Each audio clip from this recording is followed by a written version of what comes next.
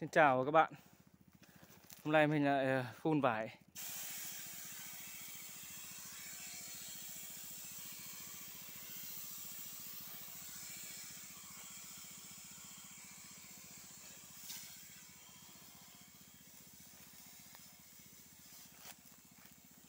Hết thuốc. Sâu này các bạn. Có sâu này. Cong cong. Theo đúng ờ, lịch trình ờ, Đáng nhẽ phải 7 ngày nữa mình mới phun cơ. Tính từ ngày à, Từ ngày mình bắt đầu à, phun là ngày 23 Đến hôm nay mới được 13 hôm các bạn ạ. Mình định là không phun. À, Mình định đến à, đúng 20 ngày một chu kỳ mình mới phun. Thế nhưng mà mình đi lên thăm vườn thấy nhiều sâu quá. Ê, lại phải phun thôi. Không làm nào được. Không thể làm theo đúng lịch trình được nữa. Lịch trình lần trước mình 20 ngày sau mình mới phun đến ờ, hôm nay đi, sáng hôm qua đi lên thăm thì thấy quá nhiều sâu, không thể không thể theo định kỳ được nữa. Đây, sâu đây. Cái sâu này nó cắn lộc lon. Và hết lộc lon thì nó cắn sang quả rất là nhiều luôn. Đây, mình không phải là lạm dụng thuốc sâu, thuốc bảo vệ thực vật đâu. Nhưng mà thực chất là nó phải có có sâu thì mình mới phun. Đây. Những cái cành nào mà không có quả, nó ăn trụi hết rồi các bạn ạ thế cho nên là mình phải phun không thì nó ăn hết lọc thì nó sẽ bò sang quả và nó sẽ ăn quả của mình, nó gặm quả nó sẽ hỏng đi. Cho nên là mình bắt buộc mình phải phun ngay. Không thể để thính theo chu kỳ được nữa. Đây. rất là nhiều sâu các bạn ạ. Những cành này thì rất nhiều sâu luôn. Mình vừa quạng thuốc qua xong nó gục nó hạ, nó đây. thì quả đây, có những cành có quả nó sẽ bò sang. Ờ, cây nào ờ, cả cả ở hôm nay mình thăm cả cả những, ở những cái cành có quả như vừa nãy mình quay ấy, vẫn có sâu ăn bình thường. Thế là nó ăn trụi hết lộc, thì tự nhiên nó sẽ ăn sang ờ, quả nó sẽ gặm vào quả, bởi vì vỏ quả vải bây giờ vẫn còn non. Nó sẽ gặm. Nó sẽ gặm được các bạn ạ. Mình đã phun hết 100 cây bên này và bây giờ phun tiếp sang bên này uh, mình thấy nhiều sâu quá, mình bắt buộc mình phải phun ngay. Thế nếu mà như này mà để nó gặm vào thì rất là phí và sẽ hỏng hết đây. Mình sẽ quay à, con sâu nó đang bò loa ngòm ấy. Đấy các bạn ạ. Sâu rất nhiều các bạn ạ. Mình phun qua rồi đấy. Bây giờ chưa chết ngay. Hôm nay trời dầm mát, mình phun nó chưa chết ngay. Nó sẽ chết thôi. Rất là nhiều. mệt quá. Là mình à, đi pha tiếp. Bình thuốc để phun.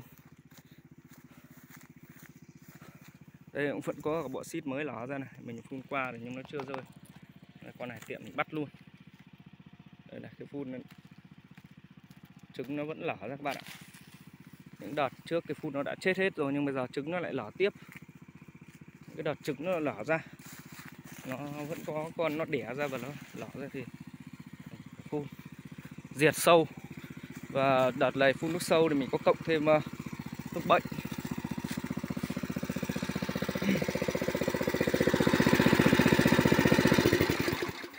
Cộng thêm thuốc bệnh và thuốc uh, nuôi quả. Các bạn đây. Hôm nay à, mình phun những loại này các bạn ạ. Rất là mệt lớn trái củ quả mập cây, mập trồi trái củ quả cân đối tăng chất lượng nông sản. Rồi.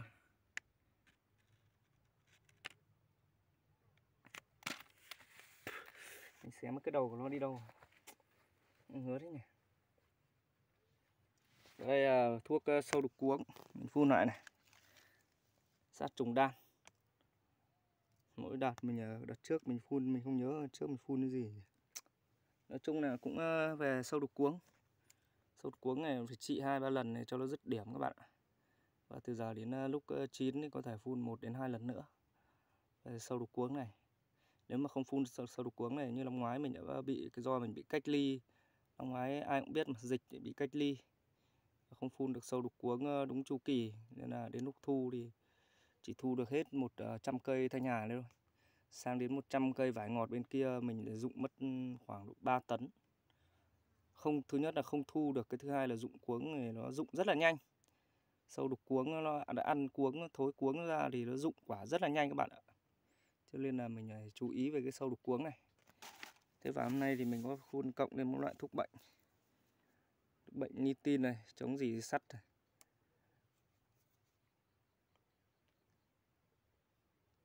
Nitin 300 EC và phun thuốc sâu tổng hợp. Loại thuốc sâu này thì uh, tổng hợp nhé chỉ các loại sâu. Xịt uh, các loại sâu này xịt sau 30 phút sau thì những con sâu kia mình vừa quay cho bạn xem nó chết hết dụng hết. Đấy. Rồi mình cộng những loại đấy đâu hết rồi.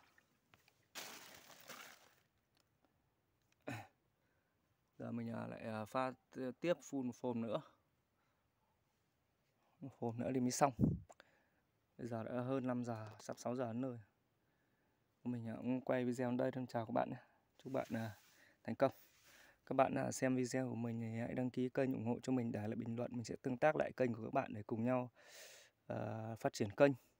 Cùng nhau uh, trao đổi kinh nghiệm làm vườn để uh, đạt hiệu quả cao. Các bạn uh, không làm vườn thì cũng cứ đăng ký kênh ủng hộ cho mình chia sẻ cho mình để lại bình luận để mình tương tác lại kênh của các bạn. Mỗi lĩnh vực có, đều có một kinh nghiệm và một cái hay riêng. Nên là các bạn cứ ờ, trao đổi ờ, với mình nhé. Chào các bạn, chúc bạn thành công.